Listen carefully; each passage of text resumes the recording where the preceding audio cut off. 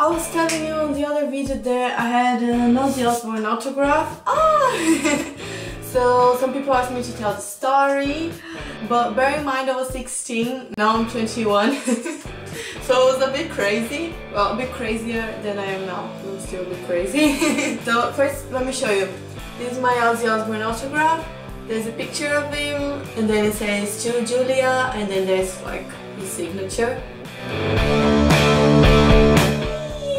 So cute. So, that's how it happened.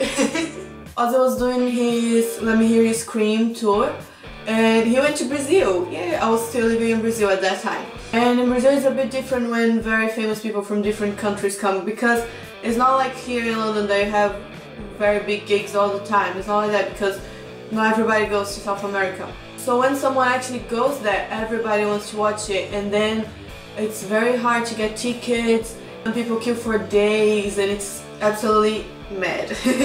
so I wanted to go to the queue one day before and sleep there but I, I wasn't sure because I was a bit scared and I was going mad because I was thinking oh my god Ozzy Osbourne is here when is something like that gonna happen again So I thought I'm gonna find out in which hotel he's in and I'm gonna go there and try to talk to him, take a picture, get an autograph or something.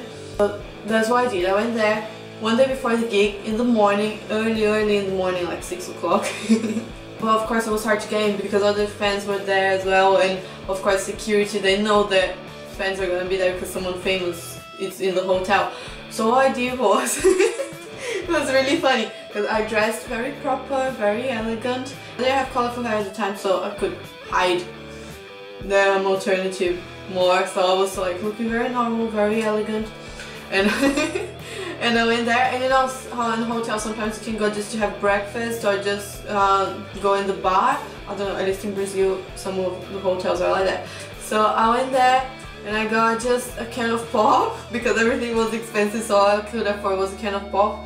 And I sat there by the bar drinking that can of pop. Slowly slowly because I, I didn't have money to buy another one and I was there just pretending and waiting to see if I could see Ozzy or something. At the end I was there for the whole day. And I didn't see any Ozzy. So I was so upset. I was oh my god I didn't see him. So I decided you know what? I'm, I'm not with anything I'm not prepared but I'm gonna go to the queue. I went to the queue and just and there was just six people in front of me.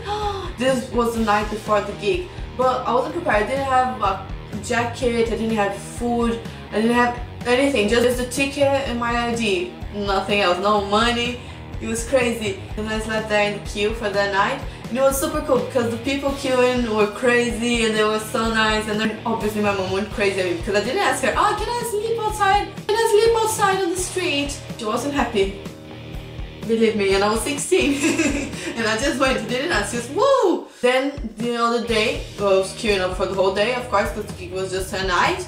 And then finally they opened the gates and all, and I was right at the front.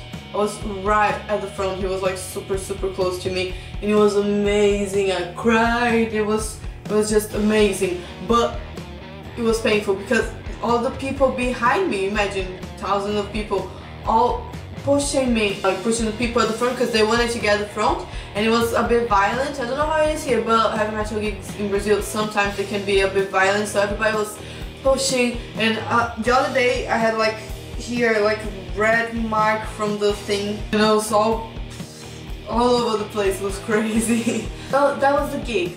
But I was still upset because I, I didn't actually talk to Ozzy, I, I didn't see him like in real life, not uh, outside the gig. So the other morning I went again to the hotel, it was probably his last day in Sao Paulo. and I went there, did the same process, went there pretending I wasn't a fan, da da da. That's when I see Adam, his keyboardist. And I was like, oh my god, oh my god, oh my god. And I went there, bear in mind I didn't speak English at the time.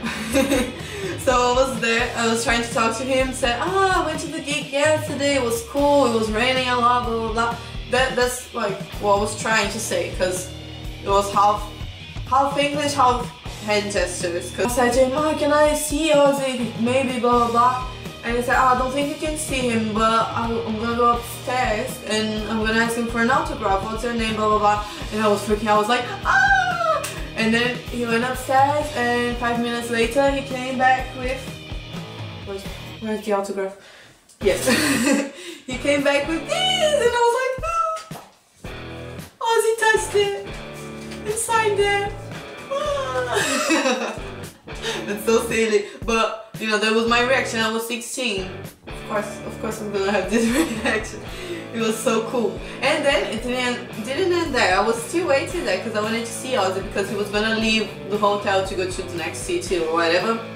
And then I remember the elevator or lift, the doors open, and I saw him with his little rounded glasses, and I was ah! Of course, I screamed and I ran like Ozzy ah!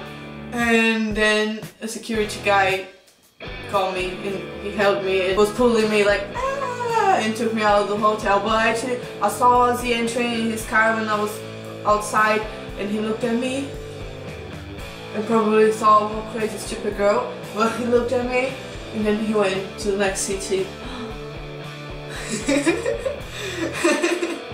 yeah, so that's my Ozzy Osbourne. And yeah, if you like story videos, please give this video a thumbs up because then I'm gonna post more stories. I have so many crazy stories about when I moved to London and so many stories. So yes, if you liked it, please give it a thumbs up. And don't forget to subscribe, I post videos three times a week. And thank you so much for watching. Have a very, very lovely day. Mwah!